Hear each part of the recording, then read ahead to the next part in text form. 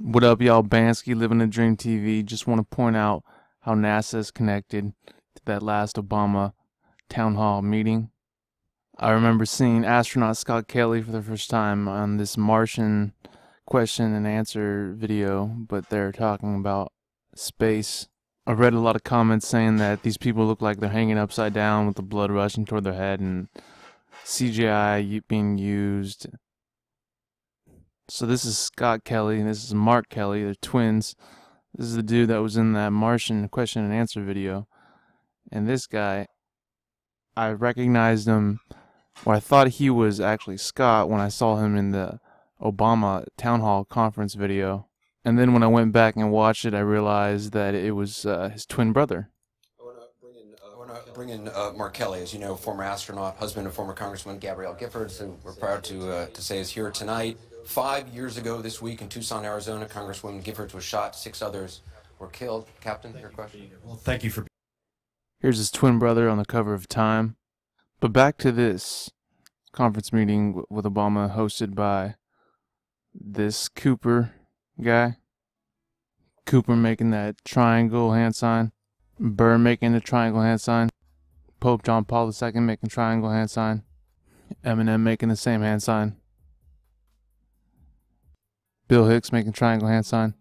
So I think it's very intentional in this 1 hour, 13 minute, and 3 second video that CNN released on the American Town Hall on gun control.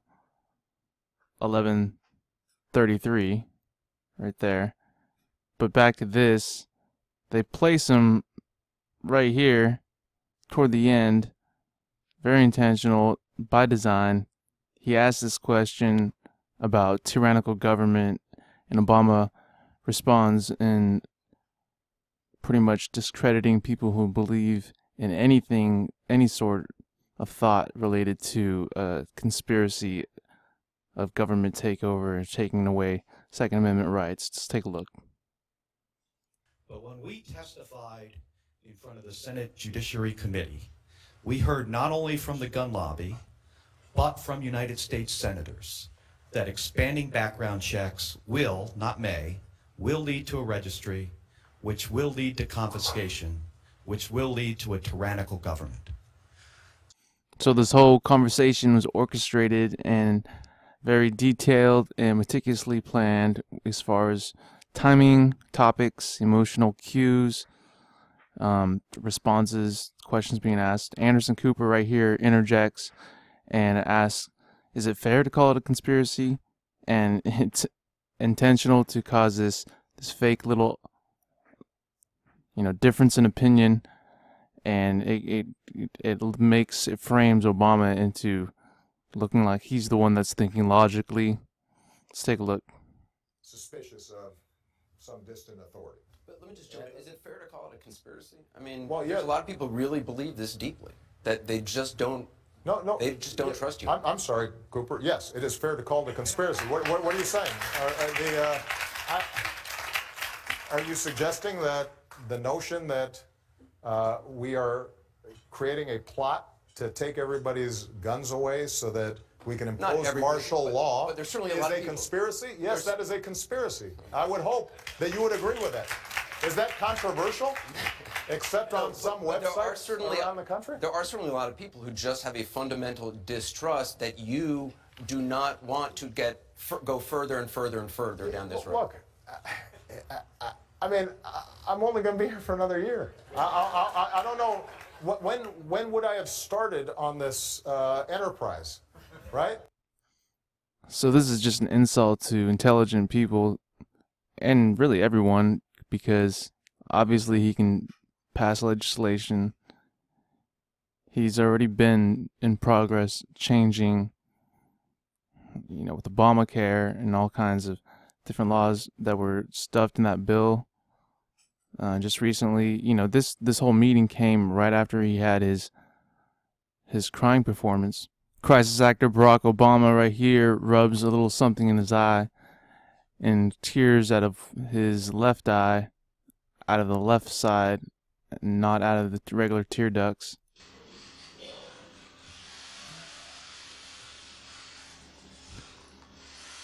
rub something in his eye right there Every time I think about those kids, it gets me mad. And by the way, it happens on the streets of Chicago every day. You never want a serious crisis to go to waste. If I can leave you one number, do, do a bunch of numbers at you very quickly, leave you one number 16,000.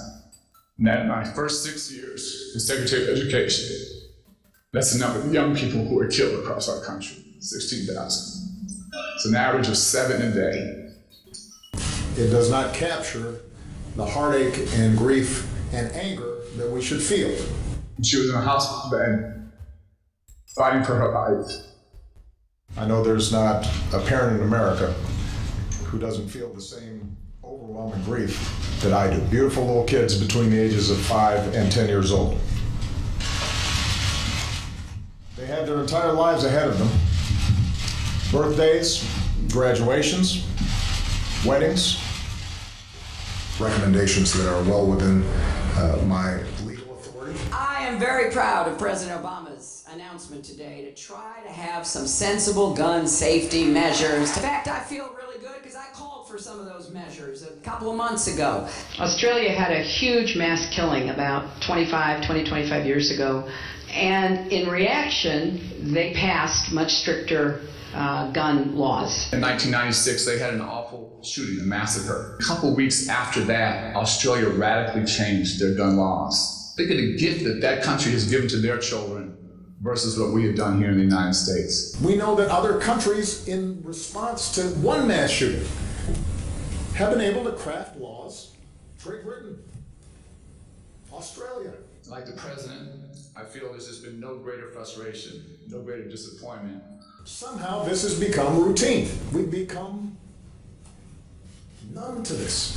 Gun violence, to die, mass shooting. What does that do to their decision making process? On the other side, we're absolutists and think that any gun safety measures are somehow an assault on freedom or communistic, or a plot by me to, you know, take over and stay in power for ever or something. I'm also confident that uh, the recommendations that are being made by uh, my team here are ones that uh, are entirely consistent with the Second Amendment. There are all kinds of crackpot conspiracy theories that float around there. This is a time of crisis. This is a time of crisis. This is a time of huge pain. It's a time of fear. From that pain, from that fear now, can that spur action? And so, can a crisis become an opportunity? And that's why I'm actually hopeful. I think it can. That's all I'm going to show this video. This is from Truthstream Media. It's a great channel. Go check it out. I'll leave a link. So they use the NASA actors, the promoting the Martian video, you know, question and answer, promoting the whole space agenda actors. They use the, the twin brother to trigger the question that led to this staged debate on conspiracy actors. Right here, Anderson Cooper acting. Here he chuckles. Obama states that he's only going to be here another year. Just keep in mind, he says he's only going to be here another year. Conspiracy? Yes, that is a conspiracy. I would hope that you would agree with that. Is that controversial? Except on some websites There are certainly around the country? There are certainly a lot of people who just have a fundamental distrust that you do not want to get go further and further and further down this road. Look, I, I, I mean, I, I'm only going to be here for another year. I, I, I, I don't know. Wh- When, when would I have started on this uh, enterprise? The comment reminded me of the supposed slip up of Obama telling former Russian leader Medvedev that he'll have more flexibility after the election. And this AP archive channel reports that they had no knowledge and no intention of making it public. And uh, what he says pretty much makes you wonder and implies that he has plans that uh, extend further than his presidency. Let's take a look. My wife's my basically, yeah. After my election, I have more flexibility. Yeah, yeah.